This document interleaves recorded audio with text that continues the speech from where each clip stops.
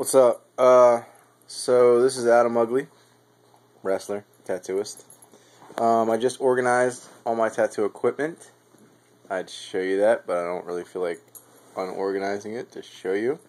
Now I'm currently eating a hot dog, and drinking a Dr. Pepper. I don't know if you can kind of. There you go.